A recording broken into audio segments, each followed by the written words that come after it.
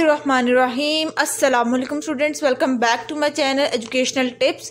कैसे हैं आप सब? उम्मीद करती हूँ सब बच्चे ठीक ठाक होंगे। स्टूडेंट्स, आज जी हम पढ़ने जा रहे हैं unit number ten, sound and light. ये जो साउंड एंड लाइट है, इसका आज हम पढ़ेंगे फन पेज। जो कि है पेज नंबर एटी फाइव पे। पेज नंबर एटी फाइव पे आइए तो आपके पास क्वेश्चन नंबर वन है हमारे पास what happen to rays of light उन रेज ऑफ़ लाइट का क्या होता है? When they pass through something transparent जब वो ट्रांसपेरेंट मटीरियल के से पास होती हैं तो जो रेज हैं लाइट की, उनका क्या होता है? शाइन्स अ टॉर्च थ्रू अब round bottle full of milk and water एक ऐसी बोतल आप, एक राउंड बोतल है हमारे पास और उसके अंदर पानी है और मिल्क है, यानी कि दूध है। क्या वहाँ से जो लाइट जो रेस हैं, वो पास आउट होंगी? नहीं होंगी। क्यों? क्योंकि जो अंदर जो मटेरियल है, उससे जो लिक्विड है, उससे कभी भी लाइट पास आउट नहीं होती। अ स्मॉल मेडिसन बोतल एक मेडिसिन की बोतल के थ्रू भी नहीं होती। ठीक है? मिरर बैंड्स जब आप रिफ्लेक्ट करेंगे लाइट जब उसके साथ रिफ्लेक्ट होगी मिरर के साथ तो वो बैंड हो जाएगी light a piece of wood क्या जो किसी भी वुड का भी कोई कोई सा भी पीस हो, लकड़ी का कोई सा भी पीस से कोई से भी टुकड़े से लाइट पास आउट होती है, नहीं होती डज नॉट पास ठीक है? तो ये इसका आंसर है डज नॉट पास रिकॉर्ड जो ऑब्जर्वेशन अब आपने अपने ऑब्जर्वेशन को देखें. हमारी ऑब्जर्वेशन क्या थी? Does not pass does not pass इधर बैंड हो जाती है, उधर डज नॉट पास ठीक है? उसके बाद आ जाते हैं कंप्लीट दिस वर्ड सर्च आपने इन वर्ड सर्च को कंप्लीट करना है. It contains a lot of word from this chapter what do they all mean आपने ये काफ़ी ज़्यादा चैप्टर्स इस चैप्टर में काफ़ी ज़्यादा ऐसे वर्ड्स हैं, ठीक है? और आपने बताना है इन सब का मतलब क्या है। मुझे जो जो से मिले मैं आपको वो बता देती हूँ। बाकी मुझे नहीं मिले थे तो अगर आप लोगों को मिले तो आप लोग भी मुझे बता दीजिएगा। मुझे मिला था नंबर वन है जी lamp L A M P lamp फिर आ जाते हैं लाइट पर। कुछ ये है जो मुझे मिल गए थे, बाकी आप लोग खुद भी सर्च कर लीजिएगा।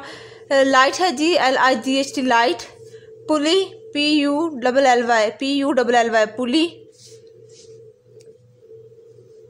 screw S C R E W screw S C R E W screw और फिर आ जाते हैं करंट पर, और C U double R E N T current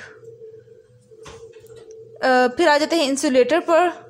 Insulator I N S U L A T O R I N S U L A T O R insulator अच्छा जिसके बाद आ जाते हैं हम लीवर पर।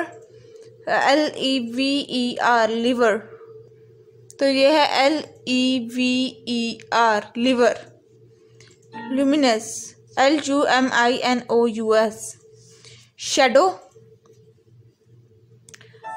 इसका जी shadow S H A D O W तो ये है हमारे पास shadow S H A D O W shadow उसके बाद आ जाते हैं वाइब्रेशंस पर V I B R A T I O N S vibrations और फिर है जी हमारे पास लास्ट है work W O R K work ठीक हो गया जी?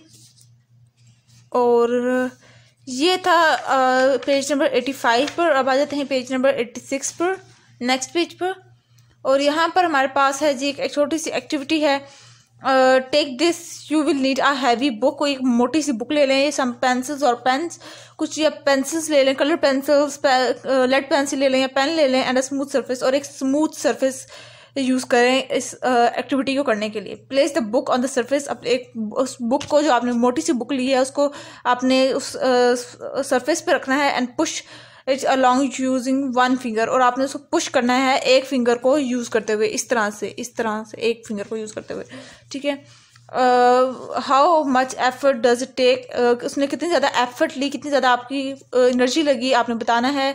Now take the pencil under the book अब आपने उन पेंसिल्स को बुक के अंदर डाल देना है and roll it along the smooth अब आपने जो, ये जो सरफेस है ना, उसके साथ रोल करना है यू यू ठीक है तो अब इस तरह से करेंगे पेंसिल्स के डाला हुआ है। Do you notice any difference क्या आपने कोई डिफरेंस नोटिस किया? Yes yes. इस तरह से है ना, जो, वो लाइट है काफ़ी।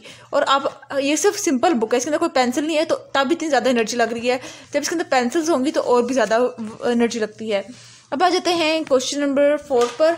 Unscramble this words and use them to label the picture below आपने इनको अरेंज uh, नहीं है तो आपने पहले तो इनको अरेंज uh, फॉर्म में लिखना है और फिर इनके नीचे पिक्चर्स के पिक्चर्स uh, भी uh, के नीचे भी इनको बताना है। इसके अंदर क्या है? इसके अंदर व्हील एंड एक्सिल है। यहाँ पर incline plane screw pulley lever और फिर ये वेज ठीक हो गया जी। तो ये था आज का लेक्चर आई होप सो आपको लोगों को समझ आ गया होगा. अगर आज का लेक्चर आप लोगों को समझ आ गया है तो मेरे चैनल को मत सब्सक्राइब कर दीजिएगा वीडियोस को लाइक कर दीजिएगा और साथ ही साथ बेल आइकन को प्रेस करना मत भूलिएगा. इससे जी मेरी आने वाली हर लेटेस्ट अपडेट सबसे पहले आप तक पहुँचेगी. मिलती हूँ नेक्स्ट वीडियो में. दुआ में याद रखिएगा, अपना ढेर सारा ख्याल रखिएगा. अल्लाह हाफिज़.